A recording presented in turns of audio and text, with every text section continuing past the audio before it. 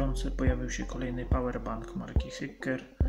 Prezentowany egzemplarz dysponuje ogniwami o pojemności 6000 mAh.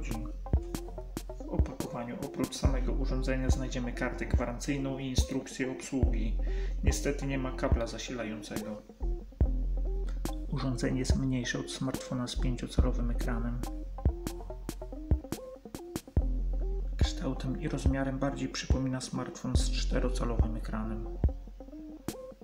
Niewielki wymiar udało się uzyskać dzięki zastosowaniu akumulatora litowo-polimerowego.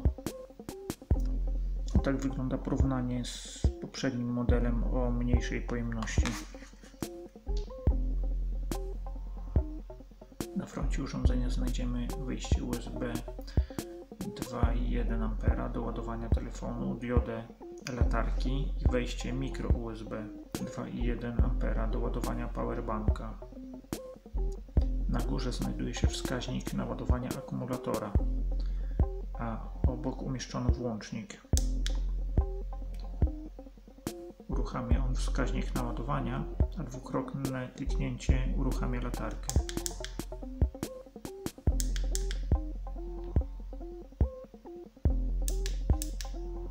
Przydatnym gadżetem jest latarka, która świeci bardzo dobrze na 5 metrów. Na dalszą odległość też się całkiem nieźle sprawdza.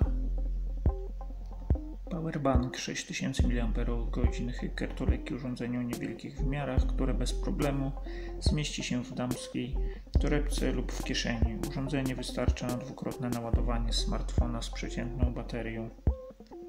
Dużym plusem jest zastosowana technologia szybkiego ładowania, a wbudowana latarka zwiększa funkcjonalność urządzenia.